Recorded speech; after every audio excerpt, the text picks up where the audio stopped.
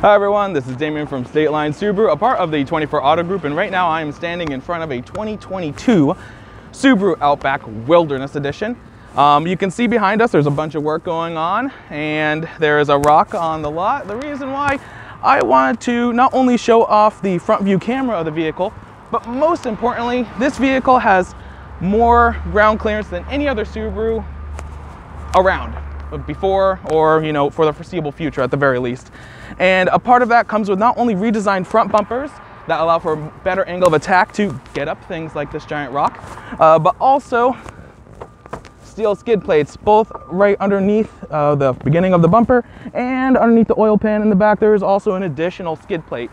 Um, this vehicle really is meant to take on the roughest terrain, um, well, rougher terrain than any other Subaru is supposed to get you to. Um, and this was just a quick show off. Um, I'm obviously, uh, I would love to show you more about this vehicle and there are plenty of videos from us that do show you a little bit more. But if you want to see it in person, my name is again Damien from Stateline Subaru. Come on down and see me.